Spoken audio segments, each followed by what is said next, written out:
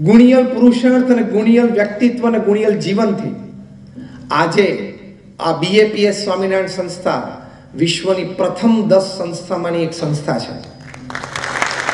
BAPS સંસ્થાને United નેશન્સમાં યુનોમાં પરમાનન્ટ સ્ટેટસ છે એઝ એન એનજીઓ દર શુક્રવારે અમારો રેપ્રેઝેન્ટેટિવ ન્યુયોર્કમાં યુનોમાં બેસે છે. એકસો બાસઠ પ્રકારની social environmental medical educational cultural moral activities છે. અને જ્યાં જ્યાં અતિવૃષ્ટિ, અનાવૃષ્ટિ થઈ, આજ સુધીમાં કદાચ અઢીસોથી વધારે નાના મોટા આવા પ્રસંગોમાં સમાજની સાથે રહ્યા. ભુજના ભૂકંપ પછી તો પ્રમુખ સ્વામી મહારાજે નવ ગામ દત્તક લઈને પંદરસો ઘર બાંધી આપ્યા. આવું વાત કરું છું ઓગણીસ વર્ષ પહેલાની. પ્રચંડ પુરુષાર્થ એમને જીવનમાં કર્યો. દુનિયાના સાઠ દેશોમાં અઢાર હજાર ગામડાઓમાં જાતે ગયા છે. કોઈ જાહેર જીવન જીવનારી વ્યક્તિઓને પૂછજો કે અઢાર હજાર ગામડાઓમાં જાતે જવું એટલે શું? ટીપીની નોંધણી કરવાની તો ના જવાય. અઘરું છે. વેરી ડિફિકલ્ટ પ્રમુખ સ્વામી મહારાજને લોકો વ્યક્તિગત જીવન, પારિવારિક કે વ્યવસાયિક જીવનનો પ્રશ્ન આવતો એની માટે પત્ર લખતા એવા સાડા સાત લાખ પત્રો એમણે વાંચ્યા છે અને એનો ઉત્તર આપ્યો છે.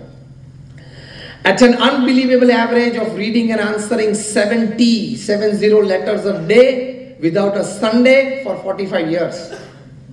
પ્રચંડ પુરુષાર્થ રોજના સિત્તેર પત્રો વાંચવાનો અને ઉત્તર આપવાનો અને સ્પષ્ટ નિર્ણય આપવાનો જેના જીવનના જટિલ પ્રશ્નો હોય એનો પિસ્તાલીસ વર્ષ સુધી એમને રવિવાર જોયો નથી રોજ સવાર બપોર સાંજ મુલાકાત આપીને લોકોના પ્રશ્ન સાંભળતા અને ઉત્તર આપતા એવા બે મિલિયન વીસ લાખ લોકોના જીવનમાં સમાધાન કરી આપ્યું. આજે જેમ આપણે એક સભામાં સત્સંગમાં મળ્યા છીએ એમ, પચાસ વર્ષ સુધી રોજ સાંજે સત્સંગમાં બે કલાક સુધી એમને આવી રીતે સત્સંગ લાભ આપ્યો. ઇંગ્લેન્ડની પાર્લામેન્ટમાં એમનું સ્ટેન્ડિંગ ઓવેશન થયું. બ્રિટિશ પાર્લામેન્ટમાં, એટલે કેનેડિયન પાર્લામેન્ટમાં સ્ટેન્ડિંગ ઓવેશન સાથે સન્માન થયું. કેન્યાની પાર્લામેન્ટમાં થયું. અમેરિકામાં ચાલીસ કરતા વધારે શહેરોમાં કીટ ધ સિટી મળી. તમે જે અક્ષરધામ જોયું છે, એમાંથી દિલ્હીનું અક્ષરધામ જોયું આંગળી ઊંચી કરજો ઓ most of you that's great આ લેવલના અત્યારે ચાર મોટા કેમ્પસ બીએપીએ સંસ્થા બનાવે છે, જે આપણી સંસ્કૃતિઓના આદર્શ દર્શન પ્રદેશમાં લોકોને કરાવશે. એક છે રોબિન્સવિલે અમેરિકા, જે બે હજાર એકવીસમાં બસો પાસઠ એકર ઉપર એનું ઓપનિંગ થશે. બીજું અબુધાબી યુએ ગયા અઠવાડિયે સમાચારમાં ખૂબ હતું, તમે જોયું હશે. ત્રીજું છે જોહાનસબર્ગ સાઉથ આફ્રિકા અને ચોથું છે સિડની ઓસ્ટ્રેલિયા આ બધું પ્રમુખ સ્વામી મારું વિઝન હતું. સાથે સાથે અમારા જેવા અગિયારસો સંતોને એમણે દીક્ષા આપી. એમાંથી સાડા સાતસોથી પણ વધારે સંતો graduate post graduate chartered accountant doctors ને એન્જિનિયર્સ છે. એમાંથી દોઢસોથી પણ વધારે અમારા સંતો બોર્ન અમેરિકન અને બ્રિટિશ સિટીઝન છે. એમાંથી અમારા પચાસથી પણ વધારે સંતો Stanford Oxford Carnegie Mellon Yale Kellogg હાર્વર્ડમાં ભણેલા છે. અમારા ઘણા બધા સંતો એક લાખ ડોલર બે લાખ ડોલરનો સેલરી છોડીને પચીસ, અઠ્યાવીસ વર્ષની ઉંમરે સંત થયા છે. આ તો મેં તમને એટલા માટે કહ્યું કે તમને એવું ન લાગે કે નહીં ફાવ્યું હોય, નહીં જામ્યું હોય એટલે અહીં આવી ગયા.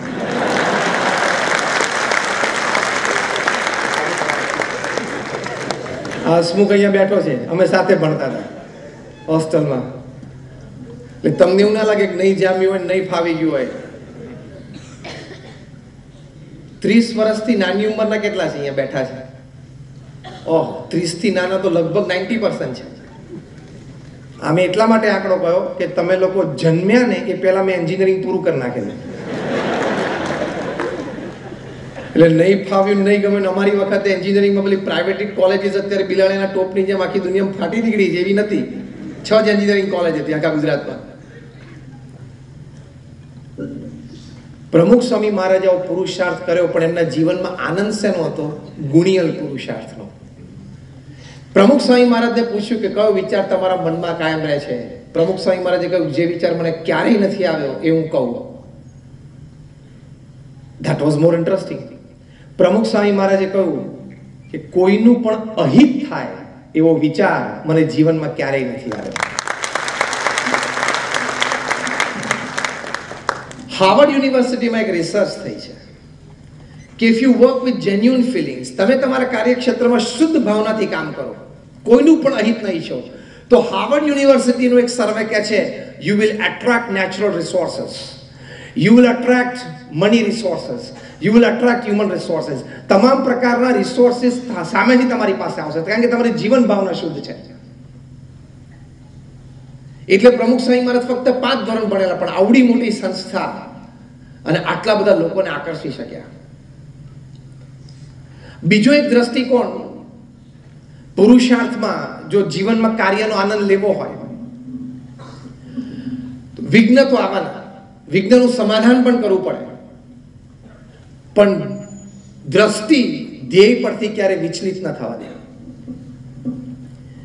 પ્રમુખ સ્વામી મહારાજ એક વાત સરસ કરતા. કે સો વાર વિચારીને એક વાત નક્કી કરવી. પણ સો વાર વિચારીને નક્કી કરેલી વાત તમે આદરો એટલે કે શરૂ કરો કામ, પછી સો વિઘ્ન આવે તો પણ ઊભું નહીં રહેવું. આ એમનું જીવન સૂત્ર હતું. અને બધા મહાપુરુષો આ રીતે જ જીવ્યા છે. મેં તો પાંચસોથી પણ વધારે જીવન ચરિત્રો વાંચ્યા છે from Nelson Mandela to Abraham Lincoln Winston Churchill Gandhi Sachin Tendulkar everybody વિઘ્નો અને પ્રશ્ન તો દરેકના જીવનમાં આવ્યા છે. પણ એ લોકોએ વિઘ્નો અને પ્રશ્નોની વચ્ચે દબાણા નથી. એડવિન મોસિસ હતા. એકસો દસ મીટરની વિઘ્ન દોડ દોડતા. Perhaps the most decorated athlete સાહીઠથી સિત્તેર જેટલા ઇન્ટરનેશનલ અને ઓલિમ્પિક ગોલ્ડ અને સિલ્વર મેડલ્સ એમને મળેલા છે. એકસો દસ મીટર વિઘ્ન દોડ. અને દર દસ દસ મીટર વિઘ્નો અને કુદીને તમારે દોડવાનું. એ રિટાયર થયા પછી બે હજાર બારમાં જ્યારે લંડનમાં ઓલિમ્પિક્સ રમાણી, ત્યારે લંડન ઓલિમ્પિક્સ કમિટીના બધા ચેરમેન હતા.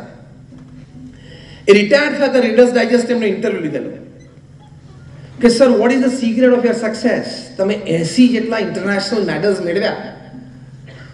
અને કદાચ વીસમી સદીના સૌથી શ્રેષ્ઠ રમતવીર હતા. તો તમારી સિદ્ધિનું રહસ્ય શું છે? એડ મોસ બોલ્યા એડવિન મોસિસને એ લોકો પ્રેમથી એડ મોસ કહેતા. એડ મોસ બોલ્યા કે my sight was always towards the goal મારી દ્રષ્ટિ હંમેશા જ્યાં પેડેસ્ટ્રેલ ઉપર ઊભા રહીને ગોલ્ડ મેડલ પહેરવાનો એની પર જ રહેતી. આ વિઘ્ન તરફ મારી દ્રષ્ટિ રહેતી નહીં. પછી એક અદ્ભુત વાક્ય બોલ્યા કે hurdles are those which you see when your eyes are off the goal વિઘ્નો તમને ક્યારે દેખાય છે? જ્યારે ધ્યેય પરથી તમારી દ્રષ્ટિ વિચલિત થાય. ધ્યેય પરથી દ્રષ્ટિ વિચલિત ના થાય તો પછી તમને વિઘ્નો દેખાતા જ નથી. ઘણા મહાપુરુષો તો એવું કહે છે કે વિઘ્નો તો હોવા જોઈએ. તો છે ને તમારું દૈવત બહાર આવે. તમારું દૈવત ખીલે. જો વિઘ્ન ના આવે ને સ્મૂથ જીવન હોય ને, તો તમે જીવનમાં બધું સાચું નથી કર્યું. શાંતિથી વિચારજો. એટલે વિઘ્ન આવે એ વાત સારી છે. પ્રશ્નો ઊભા થાય એ વાત સાચી છે. ચેલેન્જીસ અપોઝિશન ઊભું થાય, તો માણસનું દૈવત વધારે ખીલે. એ આપણને અત્યારે આપણી દેશની સર્વોચ્ચ વ્યક્તિના જીવનમાં દેખાય છે. જેટલા વિઘ્નો એટલું દૈવત એનું વધારે ખીલે છે ને. જેટલું ઓપોઝિશન એટલું એનું દૈવત વધારે ખીલે છે. દરેક માણસમાં શક્તિ છે. પણ આ દ્રષ્ટિકોણ આપણે રાખીએ તો. એટલે એ દ્રષ્ટિકોણ હંમેશા પુરુષાર્થમાં રાખો. આવો પુરુષાર્થ, મેં તમને ત્રણ વાત કરી. એક પ્રચંડ પુરુષાર્થ કરો જીવનમાં જેથી ક્યારેય જીવનમાં ભવિષ્યમાં અફસોસ ના થાય કે આવું કંઈક કર્યું હોત તો આપણે પણ ક્યાંક પહોંચ્યા હોત. બીજું, ગુણિયલ પુરુષાર્થ કરવો કે સદગુણે યુક્ત, પ્રામાણિકતા, નૈતિકતા હંમેશા રાખવા. દરેકનું હિત ઈચ્છવું. અને ત્રીજી વાત કરી કે ધ્યેય તરફ હંમેશા દ્રષ્ટિ રાખવી. વિઘ્નોથી વિચલિત થવું નહીં. તો કામ સંબંધી આનંદ આ જીવન યાત્રામાં ખૂબ રહેશે. પણ નૈતિકતા અને પ્રામાણિકતા ચૂક્યા તો તમે ગમે તે હો, ગમે ત્યાં હો, ગમે તે કક્ષાએ બેઠા હો, નાના મોટા પ્રશ્ન આવવાની ચોક્કસ શક્યતા છે. તમારી કંપનીનું નામ સત્યમ હોય ને તમે અસત્ય પ્રેક્ટિસિસ કરો તો? યાદ આવી ગયું બધાને?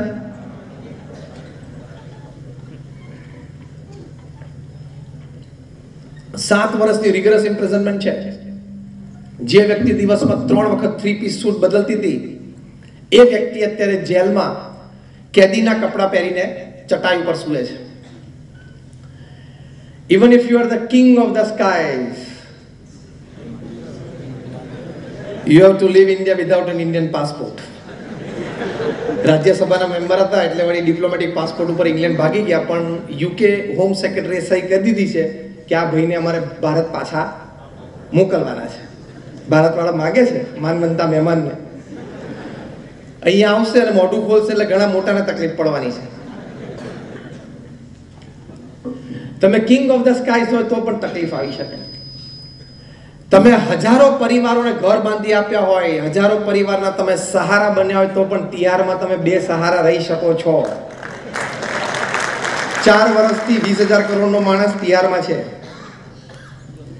એ તમે ગમે તે હો, ગમે ત્યાં હો, પ્રશ્નો તો આવી શકે છે. નૈતિકતા અને પ્રામાણિક